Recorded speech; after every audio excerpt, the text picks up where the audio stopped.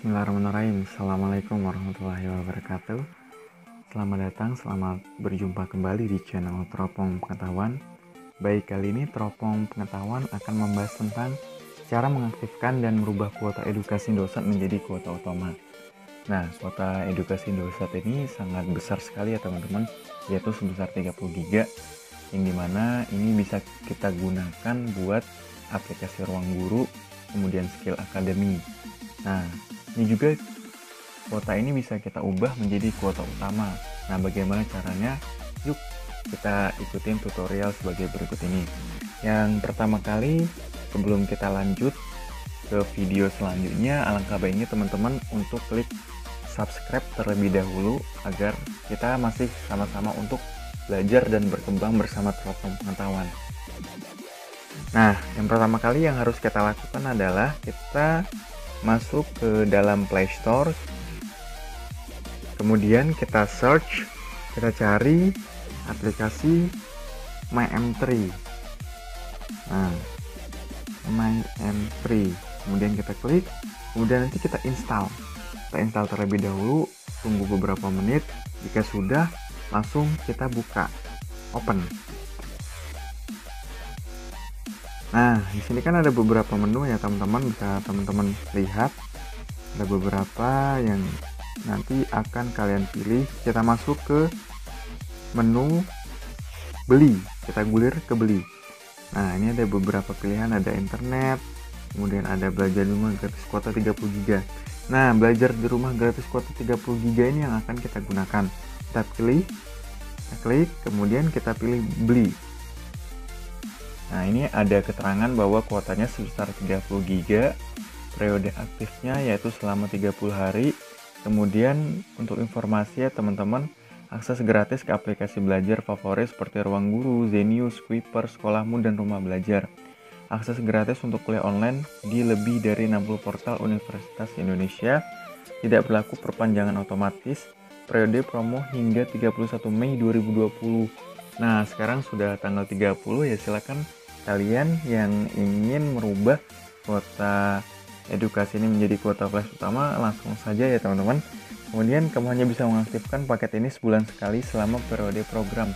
Maksudnya adalah ketika paket kuota 30 GB ini sudah habis dalam waktu misalnya kurang dari satu bulan maka teman-teman silahkan menunggu sampai waktu lebih dari satu bulan baru bisa diaktifkan. Kemudian kita klik beli sekarang. Kita pilih saja yang saldo Nah, kita pilih, kemudian kita klik bayar. Nah, transaksi sedang berlangsung, transaksi pembelian pakai kuotamu belajar di rumah gratis kuota 30 GB untuk nomor bla bla bla bla bla. Nah, silakan nanti teman-teman langsung lihat. Nah, ini ada yang masuk ya pesan. Coba bisa kita cek terlebih dahulu pesannya. Nah, nanti setelah ini setelah kuotanya sudah paket edukasi sudah masuk ya teman-teman. Ini bisa kita lihat lagi. Kuota internet aktif saat baku 30 hari cek bisa kuota aplikasi my entry nah, sekarang. Nah kita langsung masuk ke Play Store lalu kita pilih untuk download PC Phone Pro. Nah PC Phone Pro ini sebagai alat atau media agar apa? Agar supaya nanti kita bisa mengaktifkan kuota flash utama kita. Nah langsung saja ya teman-teman. Langsung kita buka aplikasi PC Phone Pro nya PC Pro. Nah ini ada. Kemudian kita open karena saya sudah mendownload ya teman-teman. Silahkan bagi kalian yang belum mendownload silahkan download terlebih dahulu. Setelah itu langsung kita klik open Nah, ini kan ada beberapa menu pilihan ya teman-teman. Nah, kita bisa pilih more option kalau misalnya kalian menggunakan bahasa Inggris, kalau misalnya menggunakan bahasa Indonesia pilih opsi lanjutan. Ini more option. Kemudian nah, ini ada beberapa pilihan. Kita silahkan pilih custom HTTP headers. Kalau dalam bahasa Indonesia header HTTP custom di mana ini fungsinya adalah untuk mengkonfigurasi header HTTP custom tambahan untuk permintaan proxy. Kita pilih klik, kita akan merubah header nomor satu yaitu diubah x min online min host nah kemudian di bawahnya ini ada yang harus kita ubah lagi https titik dua garis miring garis miring ruangguru.com com di oke okay. kemudian di header 2 nya kita ubah jadi x min online host. Kemudian kita masuk lagi. Bimbel. Kita akan klik bimbel dot ruang guru com. Oke. Kemudian untuk header tiganya x min online min host nah ini kita tambah nilainya www.quip developer.com kemudian header 4 nya kita tambahkan lagi connection kemudian kita masukkan ke header value nya keep alive nah setelah menyetel settingan Phone Pro, Anda juga dianjurkan untuk menyeting APN Indosat supaya koneksi internet menjadi stabil. Nah, kita setting terlebih dahulu ya teman-teman untuk APN Indosatnya. Kita masuk ke bagian pengaturan terlebih dahulu.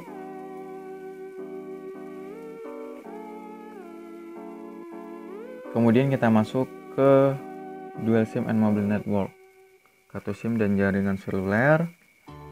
Nah, setelah itu kita pilih SIM mana yang menggunakan kartu Indosat Orade. Kebetulan di sini saya menggunakan SIM 1. Nah, setelah itu kita pilih access point name. Nah, ini kan ada Indosat SNS sama Indosat APN Edukasi ya. Nah, kenapa kalau misalnya dari teman-teman belum dibuat, silakan nanti kita pilih tambah. Kemudian kita pilih. Nah, ini untuk settingannya bisa kalian lihat untuk namanya APN Edukasi, kemudian APN-nya GPRS 5.vipnet.hr, proxinya 10.19.19.19 untuk portnya 8080 username-nya Indosat passwordnya silahkan kalian bisa menentukannya sendiri. Kemudian servernya 8.8.8.8 MSC-nya kosong MS proxy-nya kosong juga MS portnya juga kosong MCC-nya 510 MNC-nya 01 authentication tab not set append tab default append protokol IPv4 append roaming protokol IPv4 Nah, ini bisa kalian lihat ya teman-teman karena supaya untuk mempersingkat waktu saja kalian post terlebih dahulu baru nanti setelah itu baru kalian save. Di save. Nah, ini kita pilih APN edukasinya. Kemudian kita kembali lagi masuk ke Phone Pro-nya. Nah, setelah Phone Pro-nya kita kembali.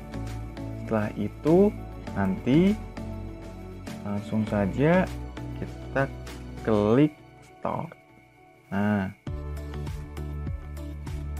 tunggu beberapa saat nanti Psikon Pro akan menyala ya sesuai dengan smartphone anda masing-masing nah ini bisa kalian lihat ya teman-teman. Ini untuk IP address dari PC Phone Pro kita. Nah coba nanti kita cek kita lihat coba kita klik Google. Google. Kalian lihat ya bahwa ini kita sudah masuk ke halamannya Google. Coba kita klik Google nah kita klik YouTube. Nah kemudian kita klik.